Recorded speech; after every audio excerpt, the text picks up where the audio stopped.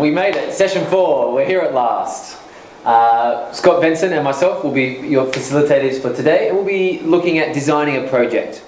It goes through four stages of a project-based learning uh, cycle. Stage one is the initiating and eliciting. It's the entry into your project. And what we're going to do is to look at uh, one, maybe two examples. Your job is to have a read of each of the um, student and teacher activities and identify which stage would they be in. Stage one, two, three or four.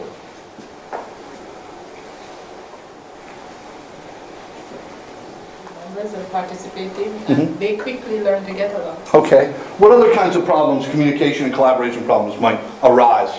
And then you set up these rules in, in advance and uh, you can refer back to this if problems arise. For example, uh, something that's manned totally by solar energy, something that You kind of set them down the right path, the path direction as you, as you go. So yes, I mean, you need to be with them along the way on the, on the sidelines while they are producing these things to make sure that, Great, so you can show that. as, Sure. You know, as a, this is what you really don't want to do, or a mock one as well. So kind of to show them, They see how Yeah. this model does Yeah. this, this, this instead of a multiple choice test. The last 15 minutes is all about you and your project. right. And so now what do they use to, to gather that? Okay, okay, all right. My idea was Interesting if you Level could or two. set up a Yeah, group. and this is obviously something that's very familiar with, you know, for lower level students. And It- so um, you know, looking at their work, because right now I'm doing projects and I have guess it on my depends. desk about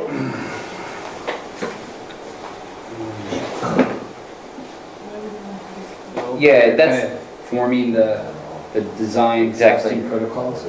And that's Um, it. Maybe, yeah. yeah. Any ideas? Yep, developing ideas, getting interest. Right. Eliciting. Maybe design testing protocols? Not No, yet. no. Discussion? Yeah, Can we discussion. believe all Can we claims? believe all claims? Yeah, Oh, we- but, yeah, I, I. we thought that was more evaluating. I wanted to, to ask about that one because Trip is, you know, getting that information, so they're interactively engaging in an environment that's connected Yeah, best would to be if they the theme. But they'd be working in, you know, groups of two or three or whatever, but Yeah. uh, you'd Because still mine did be. it on their own, but I, but I think it's better to do it in a group really. In level six, they each I- did four facilities. I find that a lot of work Mhm. initially. As a because you So they all get practice asking the WH questions and, and, you know, the interview. Brought to you Thank you very much for coming to the four sessions of PBL. We've moved through a lot. Uh, this is not the end.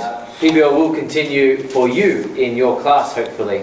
Uh, if you have any questions, uh, Randy, Scott, myself, Tara, Paola, and also Ahmed are available. Uh, thank you.